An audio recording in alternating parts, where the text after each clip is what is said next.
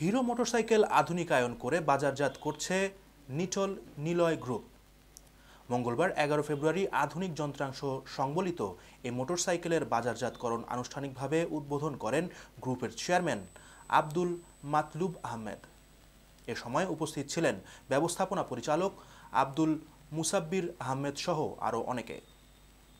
নতুন এই মোটরসাইকেলটিতে আইবিএস ও আই থ্রি এস সহ অনেক আধুনিক বৈশিষ্ট্য রয়েছে বলে জানায় কর্তৃপক্ষ।